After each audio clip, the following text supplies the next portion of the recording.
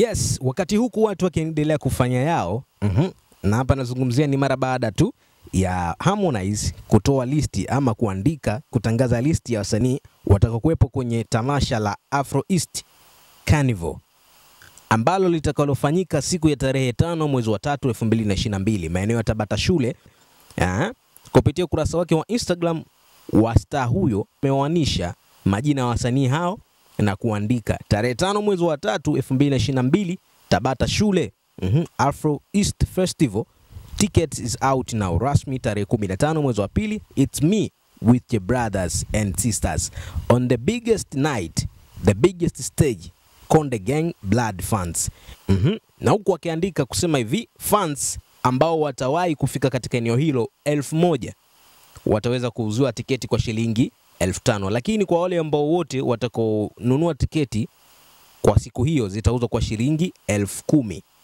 Aha. Let's go. Na tukitoka huko tukienda mbele zaidi kutizama katika kurasa yake ama kupitia posti ya Big Wig Wine ambaye ni msanii huyu wa Bongo Flava ameweza kushare na mashabiki zake na kuandika ya kusema ya kwamba kupitia wimbo wake ambao aliweza kuachia hivi karibuni ambao unafanya vizuri kupitia mitandao ya kijamii.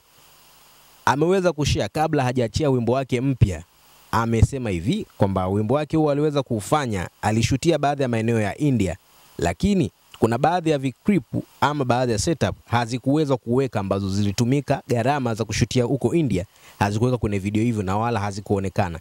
Akauliza swali kwa mashabiki je amekosea ama yupo sahihi? Na kwako wewe unaonaje kwa msanii kutumia gharama zake kusafiri nje ya nchi na kufanya video kwa gharama zote alafu director akashindwa kuviweka hivyo vicrip ama baadhi ya vipande ama setup kwenye, kwenye video na baada ya kutoka wewe unalichukuliaje swala kama hili?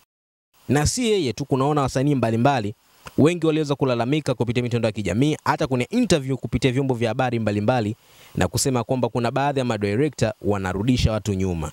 Yamkini unyama aliofanya director Ivan TZ ndio uliweza kusababisha kulingana na setups color grading na mambo kadha wa kadha kushindwa vipande hivyo kuweza kuonekana kwenye video yake mpya.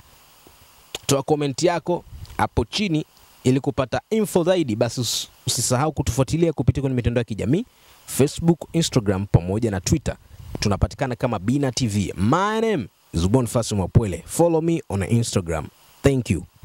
Kwa habari za entertainment sports, sports politics usisahau kusubscribe our channel bina tv we know what you need